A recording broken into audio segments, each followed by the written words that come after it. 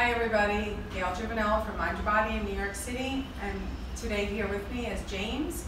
We are going to do the arm workout that is a traditional classical Pilates workout that was done after every session. You can use one to three pounds, a little heavier, but I think you'll find doing the exercises consecutively that the one to three is heavy enough. Okay, enjoy the workout. Here we go.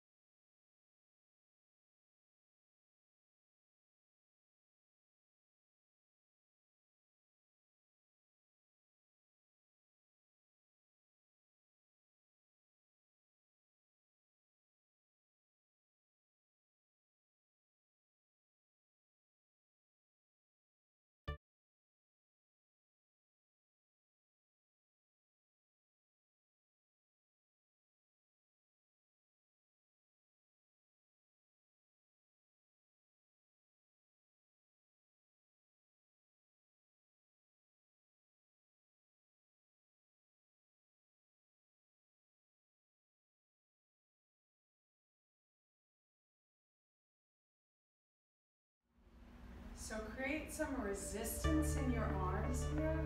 Rise up if you can, and if you cannot rise up,